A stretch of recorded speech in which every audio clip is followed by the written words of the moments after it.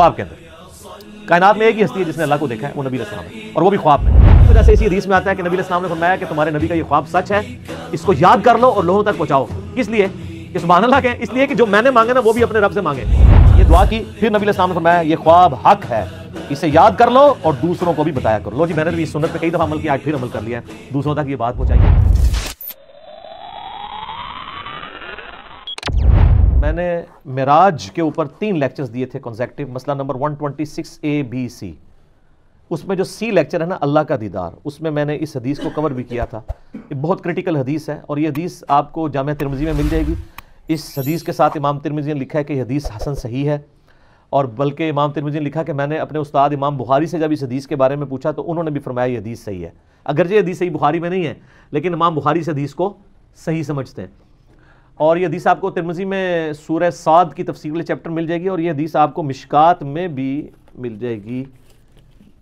हाँ, मिशकात की पहली जिल्द मेरे पास है। ये हदीस मैंने अक्सर बयान की है। ये किताबुल मसाजिद जो चैप्टर है ना पहली जिल्द के अंदर उसमें आपको ये 748 नंबर हदीस है। ये मुझे नंबर इसलिए याद है कि मैं अक्सर ये बयान करता रहता हूँ। बड़ी ज़बरदस्त हदीस है जी ये। बड़ी रिकत अंगेज़ हदीस है। इसको वर्ड बाई वर्ड पढ़ने के मज़ा मैं आपको वर्ड बाई वर्ड पढ़ के सुनाता हूँ। मुआज इब्न जबल कहते हैं कि एक रोज़ रसूलुल्लाह सल्लल्लाहु अलैहि वसल्लम हमें नमाज़ फ़जर पढ़ाने के लिए तशरीफ़ ना लाए। करीब था कि हम सूरज के तुलू होने का मुशाह कर लेते यानी बिल्कुल सूरज तुलू होने के करीब था। फिर आप सल्लल्लाहु अलैहि वसल्लम बहुत तेज़ी से तशरीफ़ लाए, चुनाचे नमाज़ के लिए इकामत की गई, कही गई और नबी ने बड़ी मुख्तसर सी नमाज़ फ़जर पढ़ाई। जब आप सल्लल्लाहु अलैहि वसल्लम ने इस्लाम फेरा तो आवाज़ बुलंद फरमाया, अपनी जगहों पर ऐसे ही बैठे रहो। फिर आप सल्लल्लाहु अलैहि वसल्लम ने हमारी तरफ़ मुतवजह होकर फरमाया, मैं अभी तुम्हें बताता हूँ कि मैं तुम्हें नमाज़ पढ़ाने के लिए क्यों नहीं आया? यानी मैं इतना लेट क्यों आया? इसकी रीज़न बताता हूँ। मैं रात को बेदार हुआ, वज़ू किया, जिस कदर मुकद्दर में था, मैंने नमाज़ पढ़ी, मुझे नमाज़ में ऊँग आने लगी। हती कि वो मुझ पर गालिब आ गई, तब मैंने अपने रब को बेहतरीन सूरत में देखा, ख्वाब के अंदर। कायनात में एक ही हस्ती है जिसने अल्लाह को देखा है, वो नबी इस्लाम है, और वो भी ख्वाब में। हाँ जन्नत में सब लोग देखेंगे लाइव इन जैसा कि उसकी शान के लायक है। तो कहते हैं, मैंने अपने रब को बेहतरीन सूरत में देखा, चुनाचे मेरे रब ने मुझसे फरमाया, मोहम्मद सल्लल्लाहु अलैहि वसल्लम। मैंने अर्ज़ किया, मेरे रब, में हाजिर हूँ। फरमाया, फरिश्ते किस चीज़ के बारे में बहस मुबासा कर रहे हैं? मैंने अर्ज़ किया, मैं नहीं जानता। यानी, ख्वाब में उन्होंने देखा कि फरिश्ते को आपस में गुफ्तु कर रहे हैं, लेकिन नबी इस्लाम को आवाज़ नहीं आ रही थी, सिर्फ़ उनकी आपस में बहस और तकरार नज़र आ रही थी। तो कहते हैं, मैंने कहा अल्लाह, मैं नहीं जानता।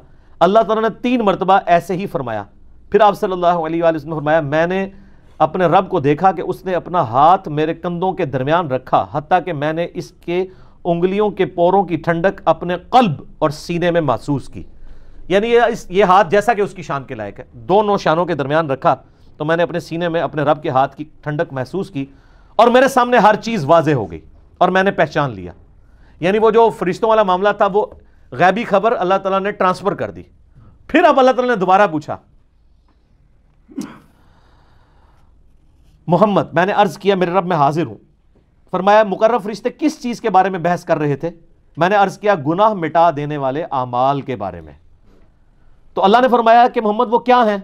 मैंने अर्ज़ किया, जो कुछ अब फरिश्तों वाला इल्म वसलम को भी ट्रांसफ़र हो गया, कि बाजमात नमाज़ पढ़ने के लिए पैदल चलकर जाना। हाय हाय ये गुनाह मिटा देने वाले आमाल हैं, जो सूरत नाम में सुर ताहा के अंदर आता है ना कि जो गुनाह हैं, वो नेकियाँ जो हैं गुनाहों को मिटा देती हैं। तो ये सुर हूद के अंदर नेकियाँ गुनाहों को मिटा देती हैं। तो वो कौन सी नेकियाँ हैं? पैदल नमाज़ के लिए चल के जाना, नमाज़ के बाद मस्जिद में ही बैठे रहना, ये दूसरी नेकी। नागवारी के बावजूद अच्छी तरह मुकम्मल वज़ू करना, यानी सर्दियों में तकलीफ़ उठानी पड़ती है, ज़ाहिर है आप अगर सही कामिल वज़ू करते हैं। फरमाया, फिर वो किस चीज़ के बारे में बहस कर रहे थे? मैंने अर्ज़ किया, दराजात के बारे में। तो अल्लाह ने फरमाया, वो क्या है? मैंने अर्ज़ किया, खाना खिलाना, किसी गरीब को खाना खिलाना, नरमी से बात करना। यानी अगर किसी को आपने कुछ देना नहीं है, कम अज़ कम उसे झिड़क तो ना दे, बल्कि नरमी से बात करें। और जब लोग सो रहे हों तो नमाज़ पढ़ना, यानी तहजद के लिए उठना। और एक तो डेटम लेवल है जो हम पे फ़र्ज़ है, वो फजर की नमाज़ है, कि आपने उठ के नमाज़ पढ़नी है। तो फिर अल्लाह ताला ने फरमाया, ये सर वो क्लाइमेक्स है। अल्लाह ताला ने फरमाया, ए मोहम्मद, कुछ मांगना है तो मांग लो।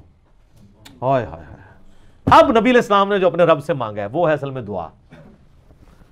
और इसी दुआ की वजह से इसी हदीस में आता है कि नबी इस्लाम ने फरमाया कि तुम्हारे नबी का ये ख्वाब सच है, इसको याद कर लो और लोगों तक पहुंचाओ। इसलिए कि सुबह अल्लाह के इसलिए कि जो मैंने मांगे ना, वो भी अपने रब से मांगे। अल्लाह इन्नी असअलुका फ़िअल खैरात व तरकल मुनकरात। व हुब्बल व अन तगफिर व तरहमनी व इदा अरदत फितनत फ़ी कौमिन फतवफ़नी गैर मफ्तून व हुब्बक व हुब्ब मन युहिब्बुक व हुब्ब अमली युक़र्रिबुनी इला हुब्बिक अल्लाह इन्नी असअलुका फ़िअल खैरात अल्लाह मैं तुझसे नेक अमाल का सवाल करता हूँ कि मैं नेक अमाल करूँ वह तरकल मुनकरात और तमाम गुनाहों को छोड़ देने का सवाल करता हूँ वह हुब्बल मसाकीन और मिसकीनों की मोहब्बत मानी जो कुछ फरिश्तों की बहस थी और हजूल इस्लाम ने जवाब दिया, उसी आपने उसको दुआ बना लिया। वह अन तक फिर अली व तरहमनी और यह कि तू मुझे बख्श दे और मुझ पर रहम फरमा।